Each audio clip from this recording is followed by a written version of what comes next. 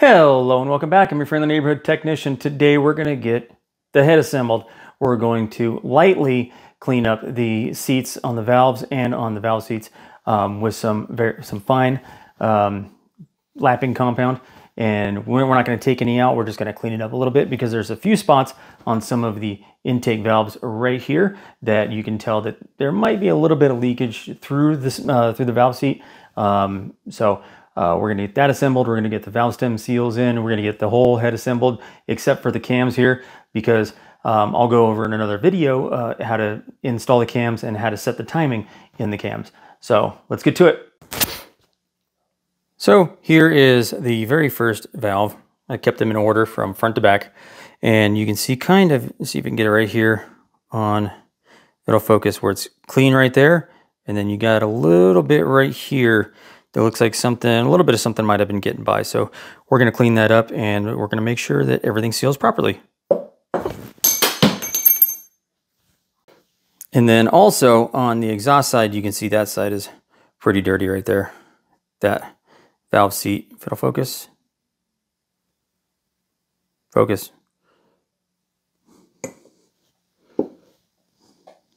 There, now you can see it. Yeah, you can see the valve seat right there is not the cleanest.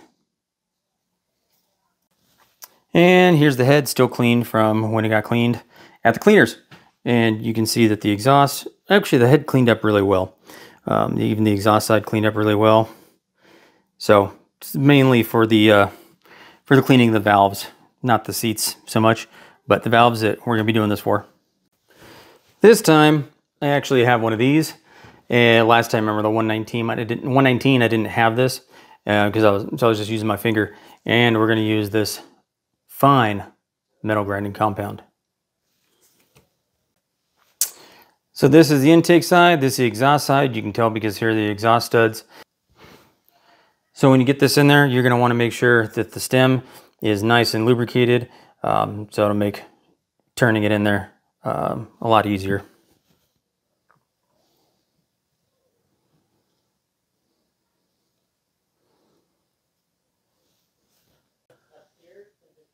And you don't need very much grinding compound on there, just a small amount. Even this is probably too much.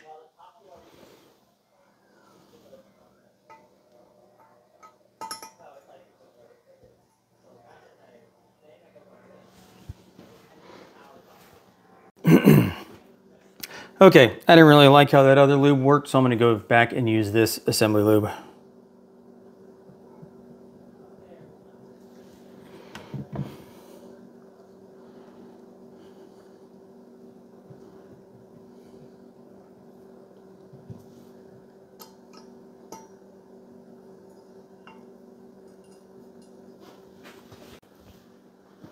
So now that we have that stuck on there,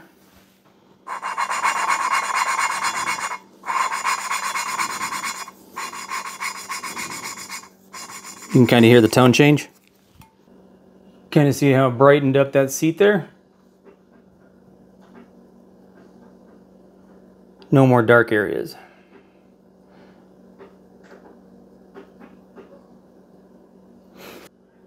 So let's do that 11 more times and then 12 times for the exhaust. I don't know if you can see the difference, but you can see right here, you can see right here where there's the clean ring right here, cleaned area. And on this one that I haven't done yet, you can see it's not there. So this is actually what we're cleaning up right there, that little small sealing surface. And now for the exhaust valves, which should have an even greater difference because these ones are all dark, super dirty. So you're gonna see that real clean line, nice and bright.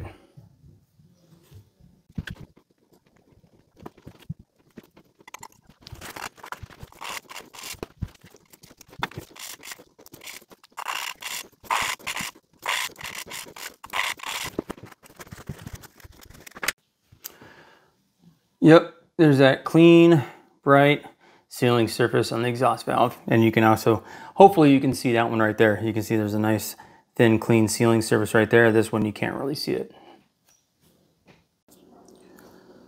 Next, we are going to install the valve springs and the valve stem seals and the valves. First thing you got to do is install the bottom valve spring seat. That's going to go in there. I lube stuff up just because I don't like putting engines together dry. It's not necessary, but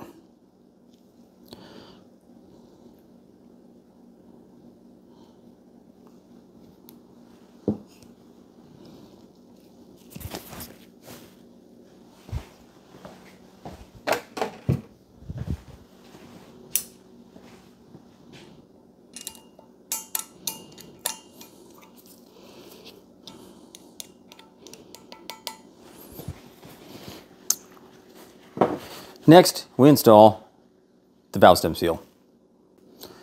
That's the part number for the valve stem seal set, or kit. We got 48 of these bad boys. Well, 12 kits, but 48 seals total. So first what we're gonna do is we're gonna insert the valve in there.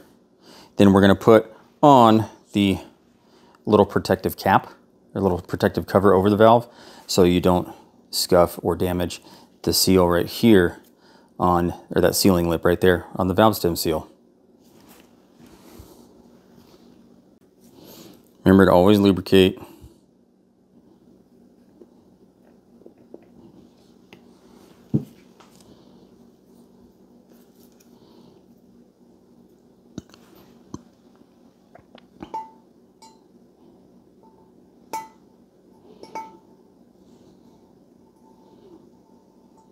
That's going to go in there like that.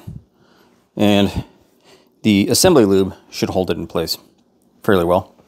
And then we're going to use, we're going to put the little cap on there. And then we're going to use this drift part number 104 589 014300.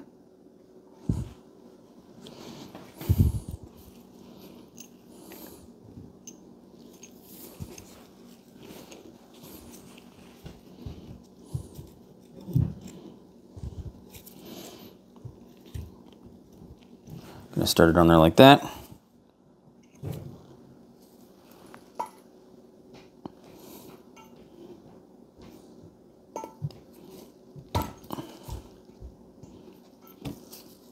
Then I'll pull that cap off.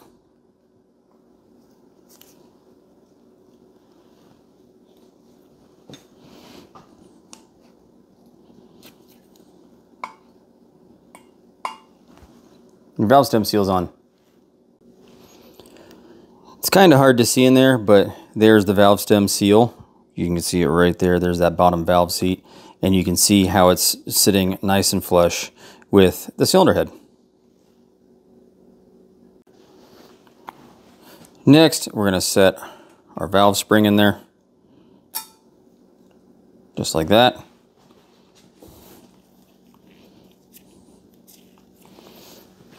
We're going to lubricate the top keeper, or the top spring seat, whatever you want to call it.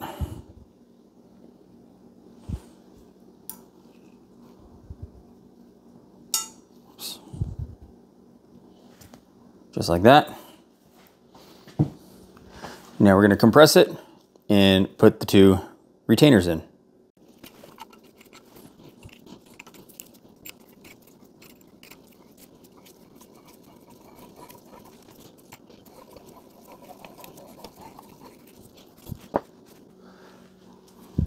I know it's kind of hard to see, but now we're going to put in the two top retainers, keepers, whatever you want to call them. And you can see that they're angled, just like that. The narrow end goes facing down. My favorite way of installing these is to get a little bit of grease or assembly lube on it and then stick it to a small screwdriver like that and then feed it in. You can just fit it right on. Then do the second one.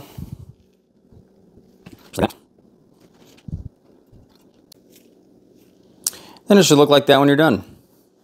Now, um, I'm going to go ahead and put the lifter in.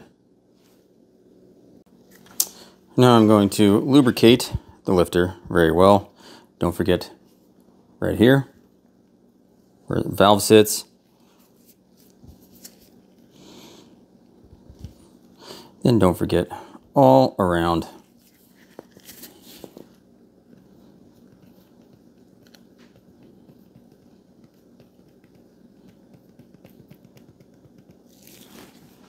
I like using a lot.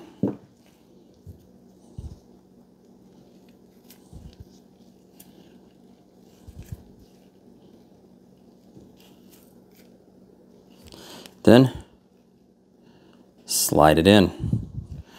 Put some around here. Don't want to put it in dry.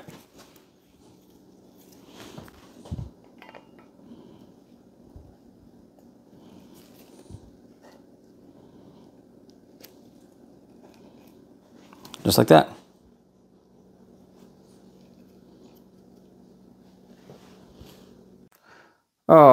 Alrighty, here we are. All the valves and the lifters installed. In the one head. I still have that head to do. Well, that's it for today's video. Thank you for watching. Uh, next video, these heads are going to get installed. So, or next video on this engine. I don't know if there's going to be any videos in between. There might be. Who knows? Um, but make sure you give me that thumbs up, hit subscribe, and hit the notification icon so you get notifications when I post a new video. Thank you for watching. See you next time.